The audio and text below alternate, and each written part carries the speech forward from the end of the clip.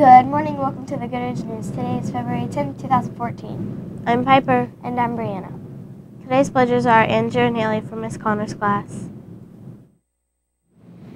I am a good I am a Goodridge it's to the flag of the United States of America and to the republic for which it stands, one nation, under God, indivisible, with liberty and justice for all.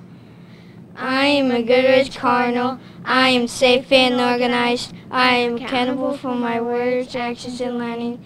I respect my parents, teachers, and classmates. I am a Goodridge Cardinal. Today I choose to soar. Today's lunch is hot dogs, pretzels with cheese, mixed vegetables, coleslaw, crispy carrot and celery sticks, fresh apples, diced peaches, and 100% grape juice. Now Macy with the weather. Today's wacky weather, there's a high of 17 and a low of 6. It will be cloudy. Tomorrow's weather, there's a high of 25 and a low of 11. It will be cloudy. That's the weather. Now back to Brianna and Piper.